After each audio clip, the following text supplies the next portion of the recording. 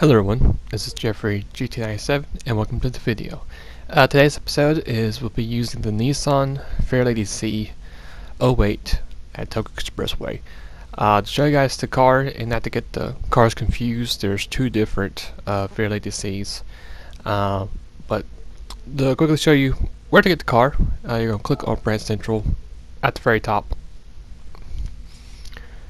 after that, you're going to then click the Asia Pacific tab all the way to the far right, and you're going to click on Nissan. Should be beside Toyota and Honda.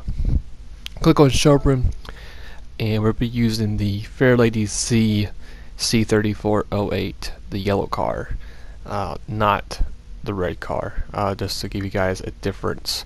Uh, here's the Fairlady Z version S, the cheaper version, and then this is the version that we'll be using for the video. Um, with this car, about 515 stock performance points, um, costing you just a little bit close to 44,000 credits. Uh, has decent horsepower of 331 horsepower, under 300 torques uh, uh, torque per pound, and over 3,300 pounds. So it's pretty bulky uh, for it to be a car. Uh, show you guys now the engine swap. But we go over here to GT Auto. Uh, you can tell at the bottom screen the engine swap is 600,000 credits. So we're going to go here and just click on it. Uh, the engine itself is the VK45DE-GT-R. Uh, so if you want to get get a chance to pause the video and check and see if you have it for your tuning parts, you can. Um, if you're not level 50, that's what I recommend doing. But if you're level 50 like I am, uh, you can just buy it for 600,000 credits or 600,000 credits. Um, minorly good buffs throughout the whole engine package. Uh, so we're going to ahead and install this engine right now.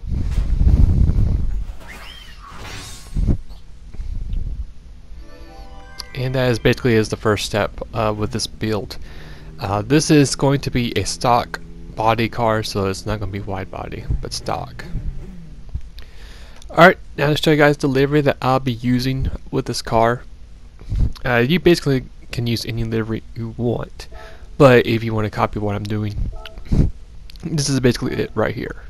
Uh, very simple. It's like a special Nismo uh, livery. I really like how it looks. It looks really nice. Uh, I mean, it, it, looks like something you see like in a car meet. Uh, that cream white color uh, with the little red, trim and the little uh, blackness to it as well. Um, especially the rims, they also look amazing with this car as well. So I'll be showing you guys the two parts that's in this livery itself. It's pretty much 95% standard. The only thing that's different is the rims and the rear wing. So I'll show you guys that next.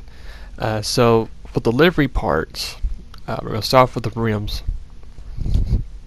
And uh, like I said, it's only just two parts uh, with this livery.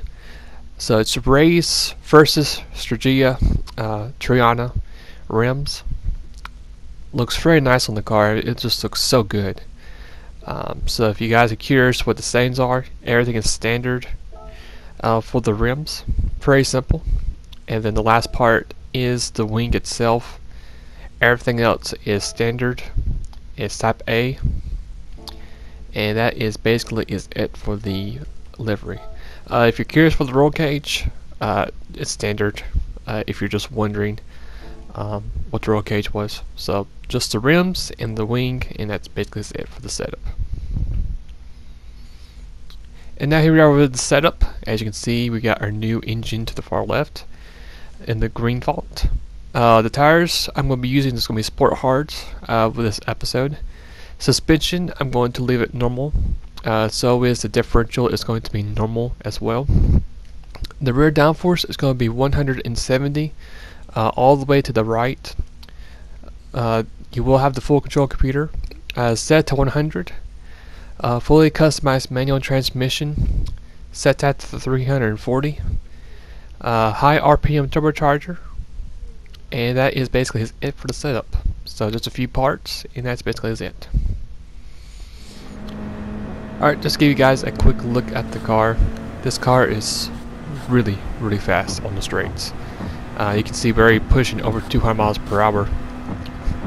Actually going over 210 uh, before we get to our first braking point. So this car is really, really strong on the straights as we're all the way up to fourth place uh, and not even really quite yet past the first turn and now we're finding ourselves in to the podium spot in third spot so this car is very quick has really good acceleration uh, the handling wise if you're curious uh, the car does feel a little bit tight um, handling wise uh, since you have the top speed or sacrificing speed with handling uh, but it still feels pretty comfortable drive. Um, it will take you a few tries to get used to the car. What I do recommend doing is through the save district just to be in fourth gear. That way you have control on the car. Um, as you can see we're making just a little bit of ground on the Subaru.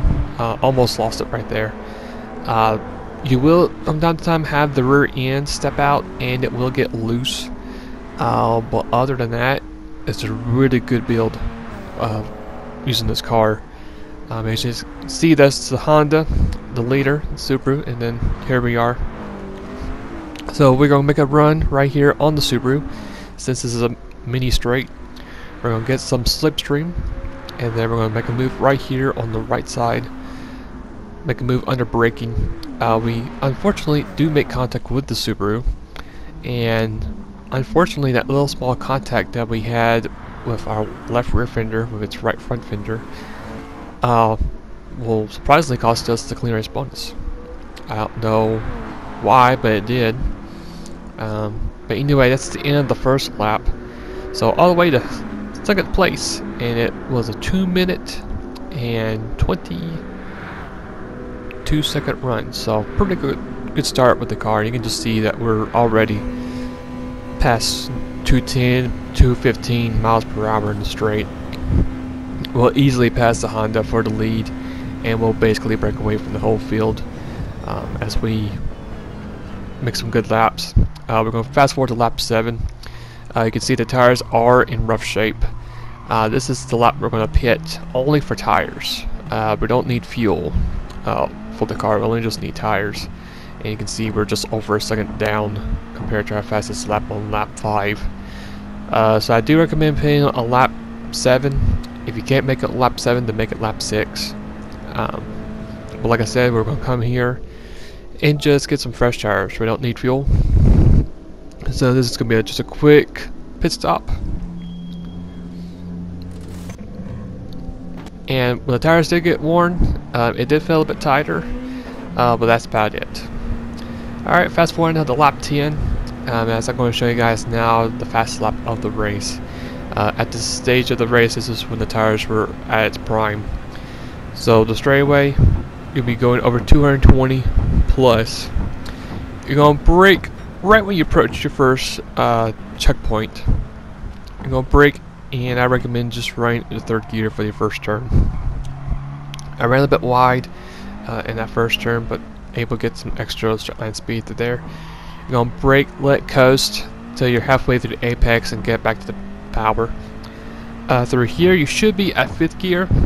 Uh, when you approach the bridge just brake a little bit, let gravity take control, just let cruise just a little bit and then halfway through the turn get back to the throttle.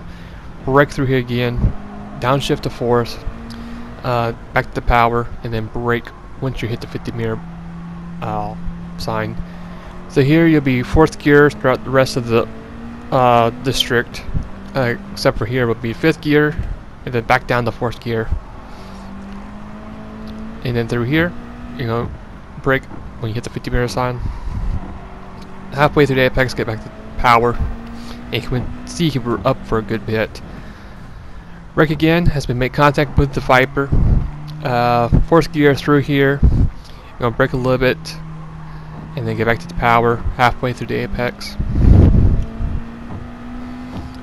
And then all the way down to the double right hand turn, uh, we'll be braking. Once we approach the 200 meter sign, uh, you'll be going all the way down to second gear. Uh, stay close to the curbs and on the dry part of the track. Slowly get back to the throttle, all the way to the power. Left left throttle just a little bit once you hit the curb, just to keep the car straight. Back to the full throttle, and that's basically as a hot lap through Tokyo. So this car is very quick, uh, incredible straight line speed, as I mentioned, uh, and not too bad for handling itself too. It's just a little bit tight, but it makes up for it. Across the line was a 207.3. As we cross for the last lap, for the last turn, we're going to lap the Lamborghini. Carefully avoid the Lamborghini, and then make our way through our last lap. So overall, the car was very quick. It was really good to drive. Felt really good driving it behind the wheel. Uh, very quick through the whole race. Uh, no big issues over overall the car. Just a little bit tight once the tires do lose wear. Uh, so just to keep that in mind when you do this run. So we cross the line, it's going to be a 2614. So that's pretty, I say that's pretty good for this car. Uh, just a little bit behind the Mitsubishi GTO twin turbo, uh, just by a few seconds. Uh, but I think this was a pretty good run with this car. Uh, like I said, 550,000 for the uh, credits earned since we made contact with the Subaru in the first lap, and I really couldn't even feel any contact, so that such a shame that happened, but sometimes it does happen, and you don't really realize it till it does. But anyway, hope you guys enjoyed the episode. Um, hope this will help out at your Tokyo grinds. I hope the setup helps out as well. Um, I just really liked how it felt. The car felt decently good uh, driving it, so it was pretty fun. Um, so again, hope this helps. Hope you guys enjoyed the episode. And if you guys want to check out my last episode I did yesterday using the Ferrari F40, you can click on the video right there. If you guys enjoy what I saw today, I want to turn on subscribe, turn on the bell on for notifications. That way you guys can keep tabs on my community post and when my videos do drop. Again, hope you guys have a great rest of the day, and I'll see you guys later. Take care.